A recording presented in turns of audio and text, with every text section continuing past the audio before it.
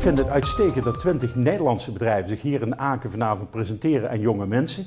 Dat zijn de ondernemers die snappen hoe die wereld verandert. Die hebben de boodschap begrepen.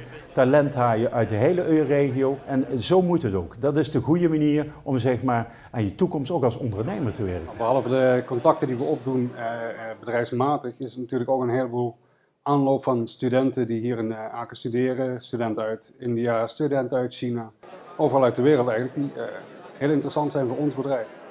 Omdat ze uh, meer, veelal studies doen die bij ons niet veel gegeven worden. Wij zoeken eigenlijk uh, twee soorten kandidaten. Kandidaten die gewoon willen solliciteren bij de bedrijven die in en rond de Health Campus zijn gevestigd. Maar we zoeken ook mensen met een goed idee die zeggen dat wil ik in een, in een omgeving waarbij ik toegang heb tot het ziekenhuis verder uitbouwen en arbeidsplaatsen creëren. Hier werden hochqualifizierte Arbeitsplätze benötigt. Und die Studentengruppe, die wir hier ansprechen, von der RWTH Aachen und von der Fachhochschule Aachen, ist die flexibelste Arbeitsgruppe, die man in Europa kennt. Die gehen genauso gut nach Frankreich, nach Italien, nach Spanien, warum nicht auch in die Niederlande. Und ich glaube, dass die Niederlande noch sehr unbekannt ist für unsere Studenten, dass man aktiv was tun muss. Und ich freue mich als Vertreter der AGIT, dass die Niederlande, insbesondere die Provinz Limburg, hier naar Aachen komt om deze studenten aanspreekt. Dat is natuurlijk eigenlijk een, ik zou bijna zeggen, een schande dat hier wel zo'n 800, 900 Chinese studenten zitten op die RWTH en nog geen 200 Nederlandse. Dan zeg je de kennis, een van de beste kennisinstituten op zijn gebied ter wereld, ligt naast de deur.